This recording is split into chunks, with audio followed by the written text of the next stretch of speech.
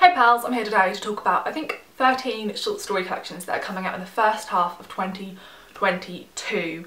In the last few years I've repeatedly said I want to get back in the habit of reading a couple of short story collections every month and I've failed spectacularly again. I've only read five short story collections this year, although I've really enjoyed, I think, four out of the five. And so I really want to focus on short story collections. There's a lot of back list I wanted to get to, but I also have, like I said, 13 books here that come in the first half of the year I think they sound great. If you love short story collections, you should definitely have these ones on your radar and if you don't or are unsure if you like them and I hope that at least one of these short story collections will spark your interest and encourage you to give short story collections a go because I think they are truly wonderful. So the first short story collection I'm excited about comes out on the 2nd of January so not long to wait at all and that is Manywhere by Morgan Thomas. I think this is the author's first book and it says this features lush and uncompromising stories about characters crossing geographical borders and gender binaries. We witness southern queer and genderqueer characters determined to find themselves reflected in the annals of history whatever the cost. As Thomas's subjects trace deceit and violence through southern tall tales and their own pasts, their journeys reveal the porous boundaries of body, land and history and the sometimes ruthless awakening of self-discovery.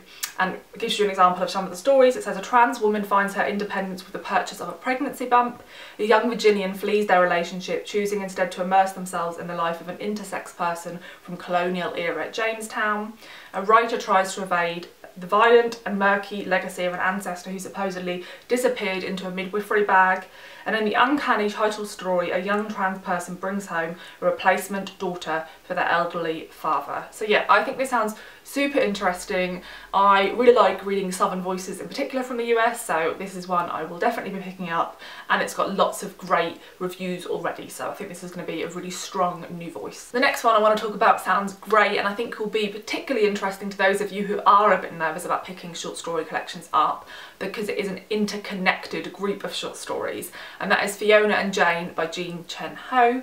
This, like I said, is a collection of interconnected stories about Fiona and Jane who grow up together in LA and they're best friends. And we follow them through their girlhood and then one of them moves to New York and the other one stays behind in California. So we follow them in separate stories and it says we follow them through their growing up and sort of adolescent angst and then their connections as they are entering womanhood and as friendship becomes like more distant and fractured and the complexities that female friendship has to offer. So I think this sounds like the sort of thing I would absolutely adore. So I have this one on pre-order already and I cannot wait to pick it up. And then on the 20th of January I have two collections I'm really excited for. The first one being Five Tuesdays in Winter by Lily King. Lily King has several novels out. I don't know if this is her first short story collection, I think it might be. I've read two of her novels, Euphoria, which I thought was fantastic, and Writers and Lovers, which is her most recent novel. And I read that back in, I think, 2020, when I was at sort of like my peak of struggling with um, my pain that was later diagnosed as a functional neurological disorder and so I really enjoyed the novel but one thing I struggled with is that the uh, main character has lots of symptoms of pins and needles and pain um, because of um, anxiety she's having about lots of stresses in her life and it felt too closely linked to what I was going through and like lots of the physical descriptions of the pain were like precisely what I experienced and I found it a bit you'd think I'd find that um, really relatable, but I found it a bit claustrophobic and I think it perhaps lessened my enjoyment of a novel that I would otherwise have loved. Um, but I really appreciate her writing style, I really like the way she explores characters, so I'm really interested to see how she does that in a short story collection. And the next one coming out on the 20th of January is Send Nudes by, I think you say Saba Sams, but I need to, well I, I, have checked and I haven't been able to find out but um, yeah I will find out when the book is released. I'm sure there'll be some interviews with the author. I think this author is around my age perhaps younger so I think I'll find this book really relatable and nostalgic in maybe good ways but maybe also not so good ways. Um, because this is another collection that focuses on girlhood. It says it immerses us in its contradictions and complexities growing up too quickly yet not quickly enough taking possession of what one can while being taken possession of, succumbing to societal pressure but also orchestrating that pressure. These young women are feral yet attentive, fierce yet vulnerable, exploited yet exploitative. It says it threads between clubs at closing time, pub toilets, drenched music festivals and beach holidays. and the author is from, let me double check where she's from if it says. She um, lives in London and I think like I said she's around my age so yeah I just think it'll be really interesting to read about uh, a group of young girls growing up in England around the time I was growing up in England so I'm really hoping to love this one and then have a new um, author to follow as she brings out hopefully some, some novels and other collections. The next one is coming out the 2nd of February and it's published by Tin House who are one of my favourite US based indie publishers and that is Lesser Known Monsters of the 21st Century by Kim Fu. Now Kim Fu is an author who I followed and um, wanted to pick up all of their books but never got around to picking up any of them so I think this might be the first one I pick up. Now I feel a bit trepidatious about this one because um, quite a few years ago I used to, if you watch my channel for, for a long time you probably know this, I used to read a lot of sort of fabulous magical realist books, um, particularly short story collections. I loved weird and wonderful short story collections and then I sort of stopped reading th those sort of books and then I've had a long enough gap that my reading taste has changed enough. I have this sort of fear that I've been scared to acknowledge that I wouldn't enjoy those sort of books anymore. So I haven't reread any of them, I haven't picked up similar sounding books and this is one such book that I think I'm going to test my theory on and hope that I'm wrong and I still love these type of books because this is the sort of book that back in like 2015 I would have been insanely excited to pick up. Um, so this is a, a weird and wonderful collection and we follow a girl who grows wings on her legs um, we follow a, a bug-infested house which becomes a Kafkaesque nightmare. It says each story builds a new world all its own. A group of children steal a haunted doll. A runaway bride encounters a sea monster. A vendor sells toy boxes that seemingly control the passage of time. And an insomniac is seduced by the Sandman. It says this collection wrestles with themes of death and technological consequence, guilt and sexuality, and unmasks the contradictions that exist within us all.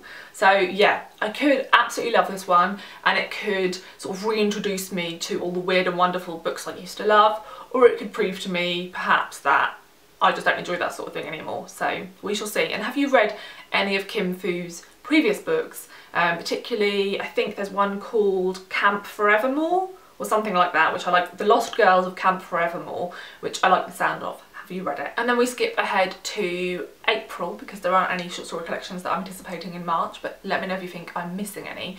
And we have Heartbroke by Chelsea Bieker coming out on the 5th of April. Now I was interested in this author's previous book or first novel which was called Godshot and I heard mixed reviews but the premise of it sounded like a book that I would completely love so let me know if you've read that one and what you thought of it. And then I saw she had a short story collection coming out. I love the cover, I think it's brilliant. And then I saw that it was blurbed by T. Kira Madden, who wrote the sort of collection of essays that formed a memoir called Long Live the Tribe of Fatherless Girls, which I thought was absolutely fucking phenomenal and one of the best books I've ever read. So pretty much anything she blurbs and says that she thinks it like focuses on girlhood really well. Are you sensing a theme here in what I'm interested in?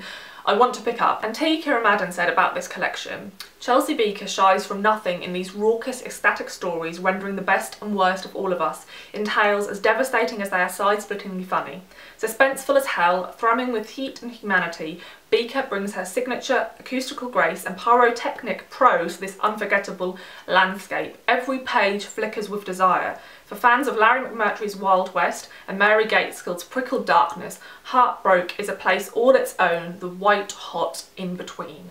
And obviously this is set in California. We follow lots of girls and women and yeah, it just sounds brilliant and I will definitely be pre-ordering this one as well. And the next one is Nobody Gets Out Alive by Leigh Newman. This comes out on the 12th of April and I'm unsure about the cover again.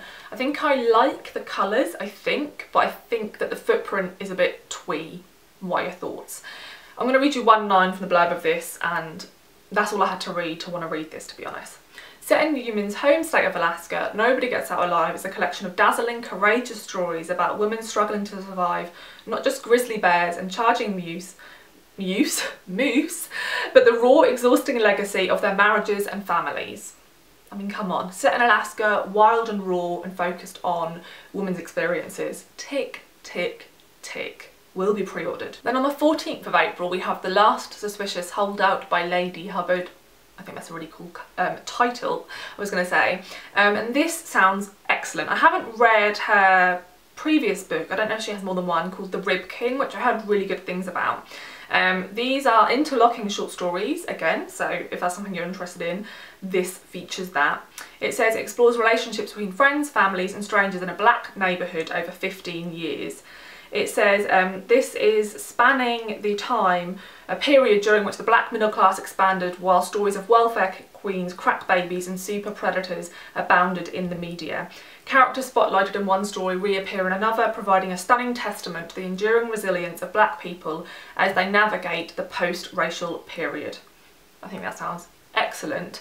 And yeah, I like um, short story collections that are linked through some characters knowing one another as well as more strongly linked um, like in the one I mentioned at the start about the two friends. And then the one I think with probably the best cover is Buffalo is the New Buffalo by Chelsea Vowel. This comes out on the 26th of April from Arsenal Pulp Press who are another great indie press. Chelsea Vowel is a Métis author and this is a book that explores being Métis through speculative fiction that blends like classical stories and more contemporary stories.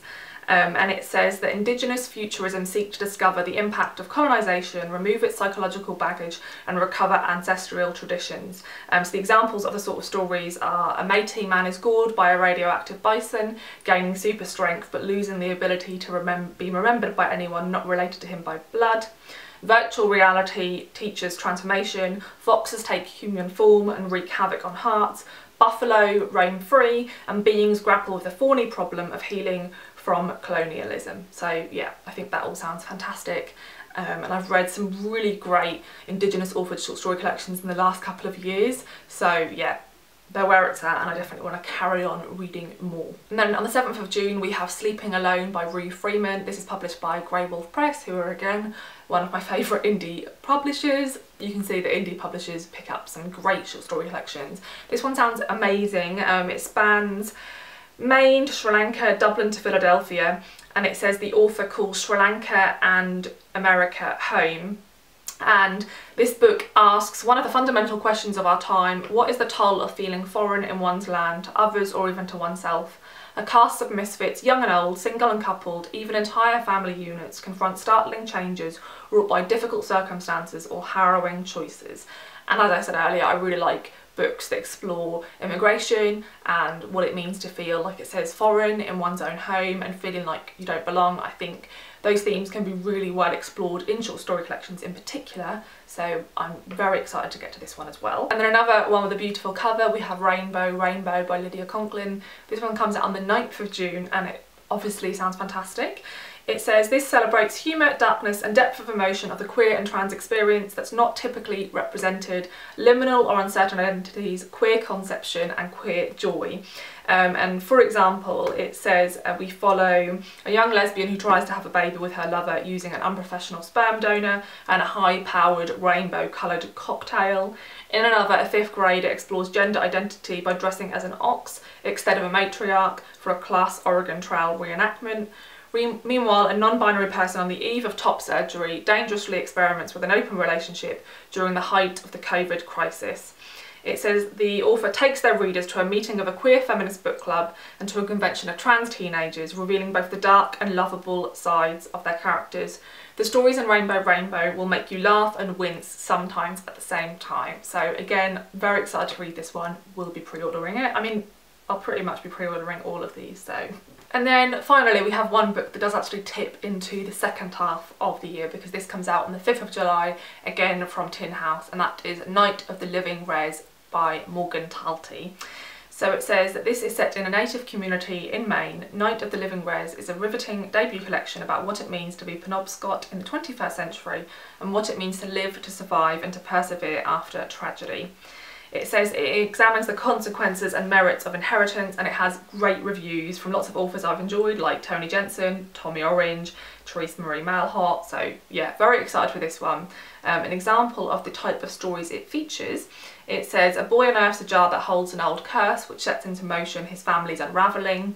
A man while trying to swindle some pop from a dealer discovers a friend passed out in the woods his hair frozen into the snow.